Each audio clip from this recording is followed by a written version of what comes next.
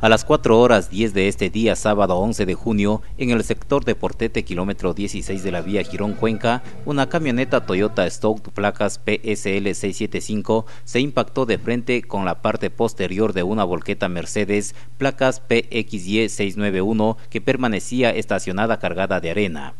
Los dos vehículos tenían sentido sur-norte. Producto del fuerte choque, Gilberto Pesantes, quien aparentemente era el conductor de la camioneta, su esposa Obdulia Quinde e hijo Manuel Pesantes de 18 años resultaron heridos y fueron trasladados por socorristas hacia el hospital regional, los tres residentes en este cantón. La voz del arma la dio la bombero Daisy Guaricela, quien retornaba desde Cuenca. Al llegar la ambulancia 1-2 de Girón, por la gravedad que mostraba se dio prioridad a Manuel, que minutos antes había sido sacado por los presentes de entre los hierros retorcidos. En la calzada recibió los primeros auxilios.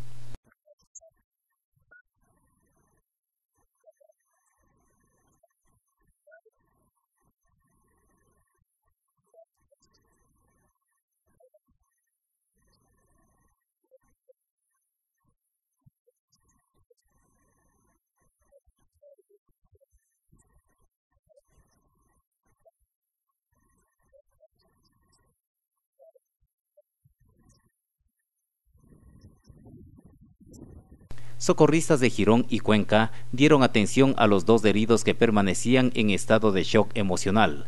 Ellos en la unidad de ambulancia de Cuenca también fueron trasladados al hospital regional.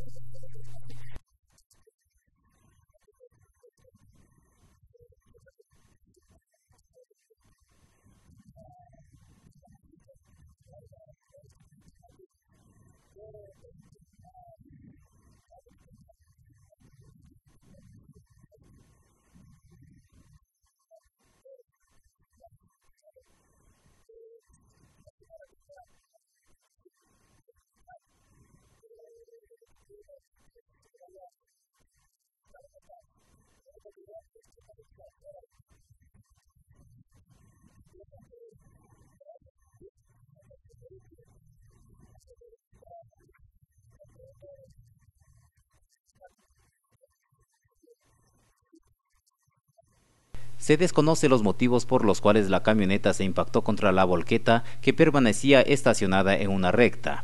Treinta metros antes quedaban los rastros de haber estado ramas en la vía como señal de tránsito para alertar el vehículo estacionado.